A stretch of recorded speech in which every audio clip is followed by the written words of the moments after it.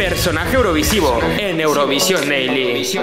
Muy buenas a todos, soy Asier y como cada semana vengo a hablarte de un personaje relacionado con el mundo Eurovisivo. Esta semana conocemos más a uno de los personajes más curiosos que nos ha representado en Eurovisión, Rodolfo Chiquilicuatre. Rodolfo fue un personaje interpretado por el actor español David Fernández. Se dio a conocer junto a su pegadiza canción Baila el Chiqui Chiqui. Y el chiqui chiqui se baila así. Uno, el breaking dance. Dos, el pulsadito. El Jackson.